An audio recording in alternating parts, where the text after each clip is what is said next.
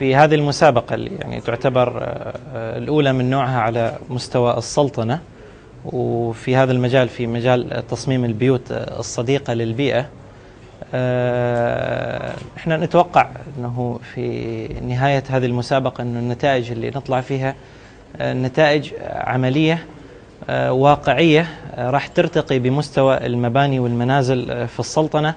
إلى مستوى جديد يساهم يخلي السلطنة في ضمن مصاف الدول اللي تنفذ حلول عملية للمشاكل العالمية البيئية مثل مشاكل الاحتباس الحراري ومشاكل زيادة نسب الكربون ومشاكل نضوب الطاقة وموارد الطاقة.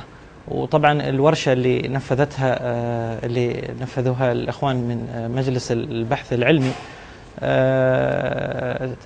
تضمنت جزئيات علمية تخصصية دقيقة وفي مختلف مجالات يعني في في البناء وفي التكييف وفي الطاقة الشمسية إضافة إلى التجارب الحية لبعض الدول الشقيقة والصديقة.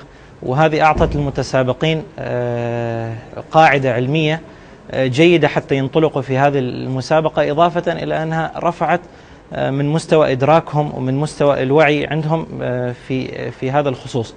ونحن متفائلين يعني أننا في النهاية راح نطلع بنتائج علمية ونتائج واقعية في البيوت الصديقة للبيئة.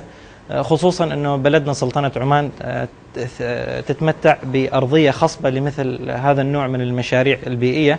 إضافة إلى أنه القوانين المعمول فيها عندنا في السلطنة تدعم جوانب الحفاظ على البيئة والسياسة المتبعة من قبل حكومتنا الرشيدة سياسة متزنة جنبتنا كثير من المشاكل والأخطاء اللي وقع فيها الآخرين.